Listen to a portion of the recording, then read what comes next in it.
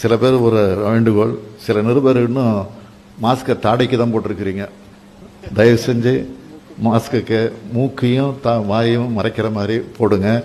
பத்திரமா இருங்க பாதுகாப்பாக இருங்க. மற்றவர்களுக்கும் விழிப்புணர்வு ஏற்படுத்துங்க. நன்றி வணக்கம்.